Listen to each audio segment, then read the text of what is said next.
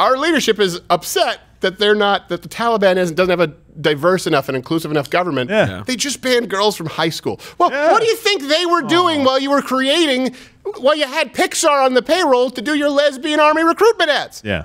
I haven't been able to sleep properly since we watched that video where a guy goes, "I believe it's Taliban." Yeah, It's like, Taliban. did you just Taliban. did you just make sure that the Taliban wasn't offended by the pronunciation of their name? That's when I gave up. What are you, a woman in Kabul? Yeah, no. What are you? I went to Kabul. I went to Duke U, but I wasn't a strong enough woman. Yeah. Yeah. well, hey, what if we go in and we?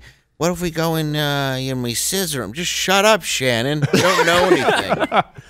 Not a good You know, plan. like, t- you know who did a good job of making like a tough woman? That was James Cameron in Terminator 2. Oh, my god. Sarah Connor was better. She used Yeah. guns. Linda That was it. Hamilton. That wasn't somebody trying to be woke and saying, No. "I don't hold my hand while we run." Like that's what it evolved into. And then that was they a better job. Gave her a Karen haircut for the new one and ruined the They whole did. thing. they ruined ruined it. the It absolute. was they the whole haircut. The whole movie, you're Yeah. like, why did you? she have- made her hate being a mother, which is ridiculous. Yeah. Her whole character.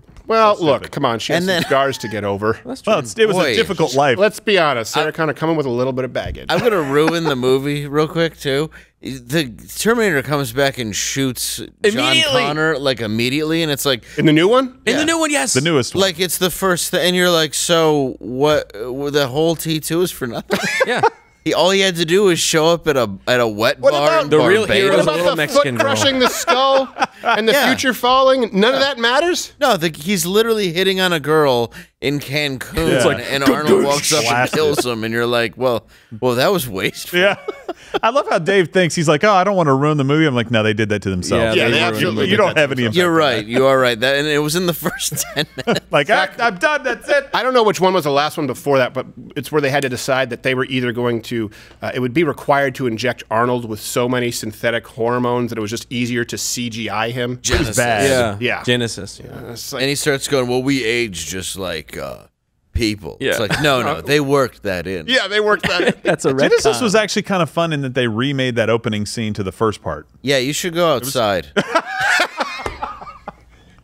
I liked it. I liked the tie-in. I was like, "Oh, that's cool." All right. The rest of it's Ah, fine. you liked Transformers 4. All right, I did not. Transformers one. Watch Louder with Crowder live, Monday through Thursday, 10 a.m. Eastern.